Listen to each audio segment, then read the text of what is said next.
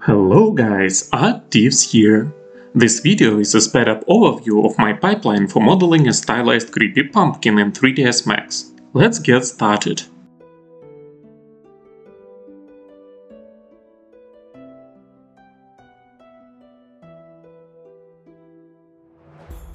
I start off by forming the initial shape of the pumpkin by using the FFD modifier.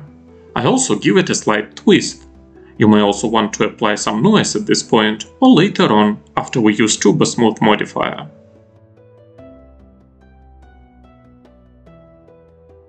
Then I create internal elements of the pumpkin. Not sure how to call them. I've used the same approach in my previous videos for modeling some oniric flowers. Make sure to not overextend with the amount of edges here, since we want to apply Turbo Smooth modifier eventually.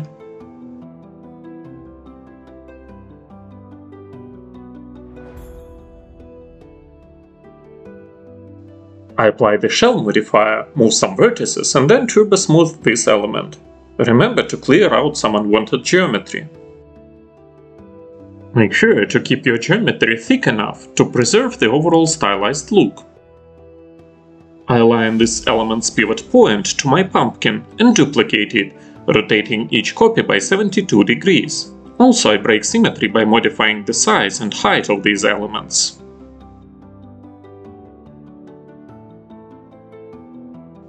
I create the central piece by using Taper, Twist, Scale tool and Turbo Smooth modifier.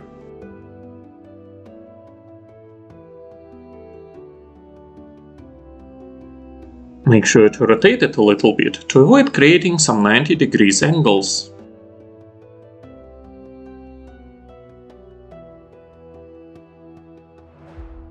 I modify the bottom part to make use of various Substance Painter grunges later on. This way we get rid of an unwanted polar structure.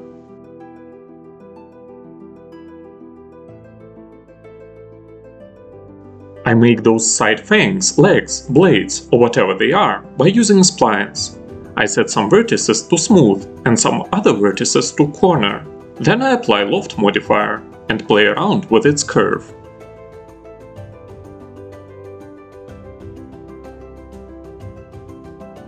In order to do it, I changed the scale curve in loft settings. Make sure to remove some unwanted geometry. Also, I emphasize some hard edges by applying a slight chamfer to them.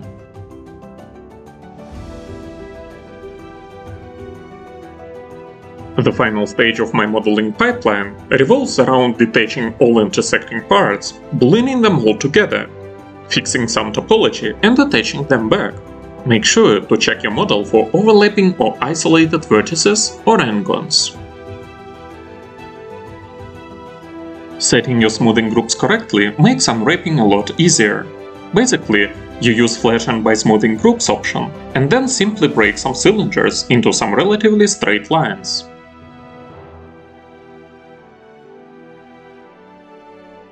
Remember to place your seams on those edges where the model's curves are at a fairly sharp angle.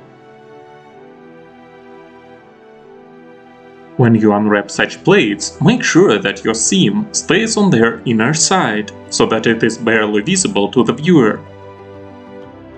Remember to rescale your UVs. In this case, I want my pumpkin's blades to be as highly detailed as possible, so I increase the size of corresponding UV chucks greatly. Then I simply fill all gaps on my UV map to utilize it as much as possible. My key discovery here is a grunge map that gives our pumpkin a creepy natural look without any sculpting. I could have unwrapped the pumpkin in a different way here, to make those lines more straight, but I think that the final version of my model looks just fine. You can apply this map to your paint layer or to its height also you can change the rotation of this layer. The rest is done by using some preset filters, including sand cavities, dirt cavities, ground dirt and moss from top. Remember that for texturing some natural objects, playing with roughness can sometimes cause a much greater effect than working with the color itself. I use a layer with its blending options set to pass through, and the stamp tool to conceal all seams. Make sure to paint not only on a color layer, but also on the roughness, metalness, normals and height layers if you have them.